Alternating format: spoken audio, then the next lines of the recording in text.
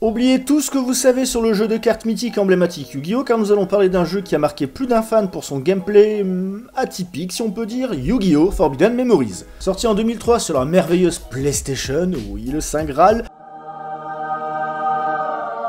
Le jeu est sorti en fin de vie de la console dans nos contrées françaises, avec 3 euh, ans de retard. Oui, 3 ans, quand le jeu était sorti fin 99 sur le territoire nippon. On commence le jeu en écrivant un nom, sans trop savoir pourquoi. On étant une carte, un personnage, une raclette de thon roblochon. L'histoire commence lorsqu'un mystérieux mage noir découvre quelque chose et rigole de façon terrifiante. Il n'y a pas de dialogue, donc faut bien meubler. Et bam Titre du jeu. Un petit personnage qui ressemble à une momie nous apprend qu'on est un pharaon, rien que ça, et nous ordonne d'aller nous coucher. On lui faut une torgnole, puis on va explorer un petit peu l'univers.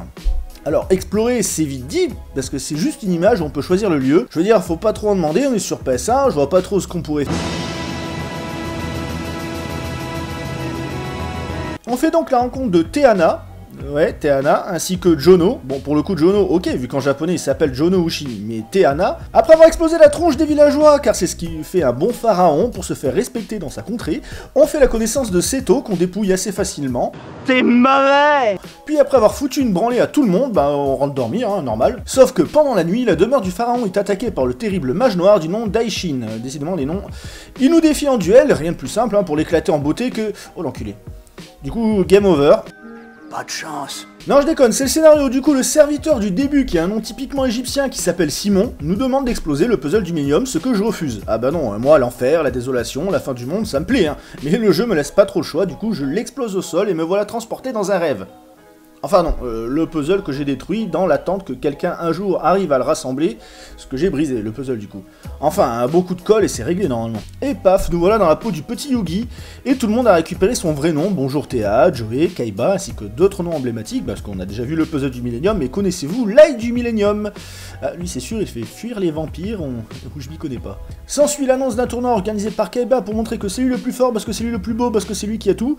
Ce qui est le patron? Et moi et on part faire le petit tournoi. Bon, je vous en dirai pas plus sur le scénario, et ce pour quelques raisons, dont voici la principale, je n'ai jamais fini le jeu. Non, attends, avant dislike, espèce de Ogoshi, oui, Ogoshi c'est lui là, on découvre de sacrées pépites dans le jeu quand même. J'ai pas fini le jeu car il est affreusement dur, et ce pour plusieurs raisons qu'on va voir en développant un tout petit peu tout ça. Déjà, oubliez tout ce que vous connaissez sur Yu-Gi-Oh! Bon, euh, les links, les Xyz, les synchros, t'oublies, ça c'est normal, hein, le jeu est vieux. Moi, je te parle des règles du jeu qui sont les suivantes les monstres à effet n'ont pas d'effet. tous les monstres sont des monstres normaux. Tu peux fusionner n'importe quel monstre avec euh, le monde de ton choix en sélectionnant ce que tu veux, sans polymérisation. Bah tiens, par exemple, Jarantique avec Sosie de la Reine, ça donne la sorcière du sable. Ne me demandez pas comment c'est possible physiquement, retournez en cours de SVT, j'en sais rien. Si tu mets un monstre en position de défense ou face cachée, alors là l'IA va devenir d'un coup agressif. Par exemple, bah y que toi début t'as que des monstres de merde ou lui, hein, voilà, il a des monstres à 200 d'attaque sans effet, je le rappelle, et d'un coup, il doit en mode défense ou face cachée, ah bah il va te fusionner toute sa main et sortir des dingueries. Et surtout, on ne peut jouer qu'une carte par tour. Ouais, qu'une carte. Ah bah alors là, ceux qui trouvent que la méta actuelle va trop vite ou que les tours durent trop longtemps, là je vous jure, vous allez pleurer. Et une carte, c'est une carte, hein. Une carte magie, une carte piège ou une carte monstre. C'est pas les deux c'est l'une ou l'autre. Du coup, mettez tout ça bout à bout avec le fait qu'au début, le jeu vous donne un deck qui est bien plus fort que ce que vous affrontez au tuto, mais où l'adversaire va devenir euh, très vite très fort avec des monstres qui vont largement surpasser les vôtres, vous avez intérêt à vite retenir les fusions.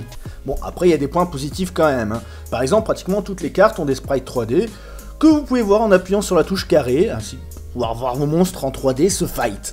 Non, en vrai, franchement, les sprites 3D, c'était pas nécessaire. Quand je pense sincèrement que tout le budget a dû passer là-dedans, euh, c'est un argument marketing, il y avait juste à regarder à l'arrière de la boîte du CD, c'est même écrit. Il y a un système de mots de passe dans le jeu qui nous permet de débloquer moyennant finance dans le jeu quelques étoiles, car à l'époque les DLC n'existaient pas, parce que sinon on sait ce qui se serait passé. Donc là par exemple, je veux le magicien sombre, je rentre le code de la carte écrit en bas à gauche, et son prix s'affiche. Soit 999 999 étoiles. Combien? Donc, pour vous expliquer, on gagne maximum 5 étoiles par duel. Donc, si je divise ce nombre de 999 999 par 5 pour voir combien de duels je dois faire, il faut que je fasse 199 999 duels pour débloquer une carte. Ça fait beaucoup là, non? Bon, sinon tu peux affronter l'IA en duel hein, euh, et espérer avoir une carte aléatoire. Mais sinon, 200 000 duels en gros. Bon, le jeu a quand même dû marquer toute une génération qui y a joué, hein, et malgré ses défauts, bah moi j'aime énormément ce jeu.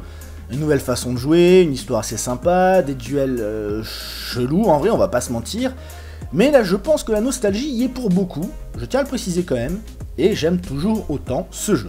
J'espère que cette vidéo vous a plu, si c'est le cas n'oublie pas de t'abonner et de liker cette vidéo, ça me ferait vraiment très plaisir et nous on se retrouve très prochainement pour une nouvelle vidéo.